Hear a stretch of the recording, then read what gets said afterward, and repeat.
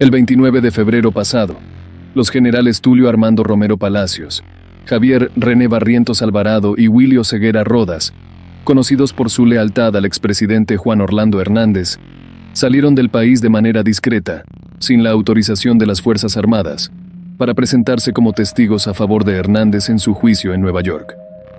Sin embargo, parece que los generales subestimaron la astucia de los fiscales estadounidenses con los que se enfrentarían.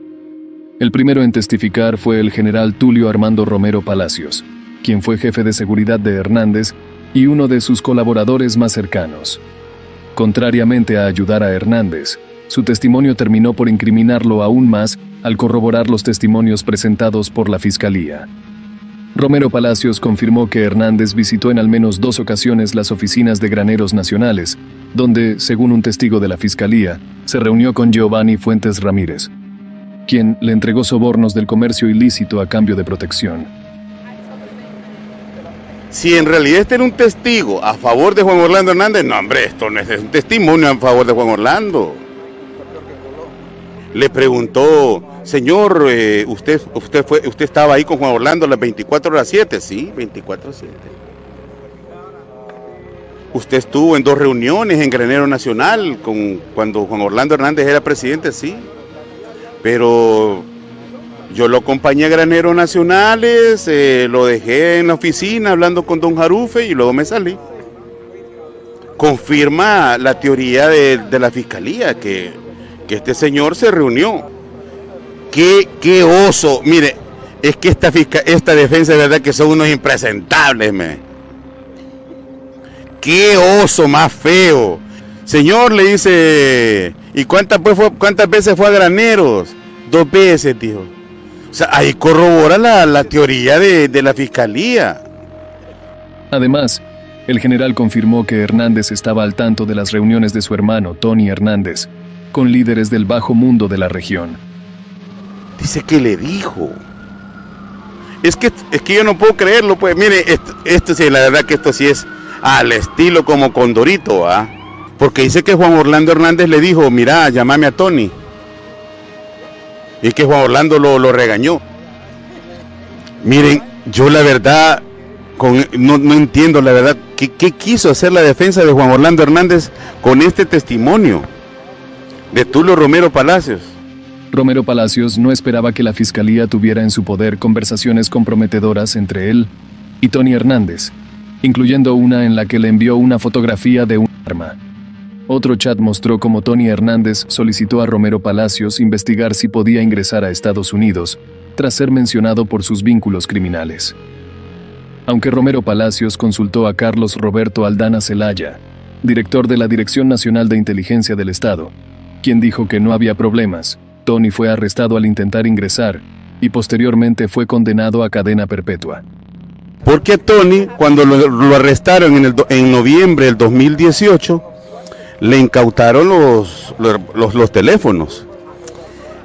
Y ahí acorralaron a Tulio. Encontraron textos entre Tony Hernández y el señor este en pantalla, Tulio Romero Palacios.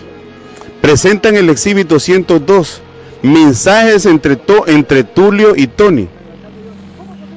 Entre esos mensajes había una foto de un arma que Tulio le mandó a, a Tony Hernández y ahí Tulio se ríe y le dice, asombroso. Tony dice, asombroso. En otro mensaje, Tulio dice, Tulio dice, congelada las cuentas de Moltambán, Tony. Mire, mire, Mira los mensajes que están pasando. Y Tony le dice, gracias a Dios líder, nada que ver. Lo arrinconó entonces con el tema de los textos, ahí lo dobló. Eh, acá lo pueden arrestar, eh, se escaparon de las Fuerzas Armadas. Ahora, el punto aquí es que uno de los mensajes que le hace Tony es el siguiente.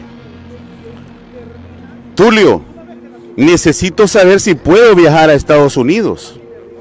Y le dije, espérate, brother, le voy a preguntar a Carlos Alberto Aldana Zelaya, director nacional de inteligencia. Y Tony, y este vino Tulio Romero Palacio, le preguntó a Carlos Alberto Aldana Zelaya, y este obtuvo respuesta. Le dijo, Tony, ¿sabes qué, Tony? No tenés ningún problema.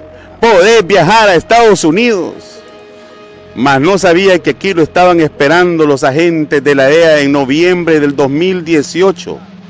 La fiscalía también cuestionó a Romero Palacios sobre si sabía que un primo del líder pandillero Alexander Mendoza, alias Porky, formaba parte de la seguridad de Hernández, lo que puso al militar en una situación incómoda.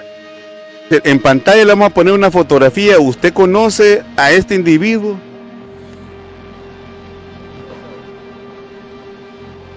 Y no es que es el primo del Porky. Ah, y que trabajaba a la par de él cuidando a Juan Orlando. Aquí está la relación que, que, que estaban hablando los fiscales. Edwin Iván Archaga Carías, Yulán Anthony Archaga Carías primos. Todas estas fotografías las pasaron aquí en el, ahorita en la corte. Allá aparece Edwin Archaga cuidando a Doña Anita. Aquí, mire, atrás de Juan Orlando. Luego aquí estamos viendo otro documento, mire, ve. Ay, ay, ay.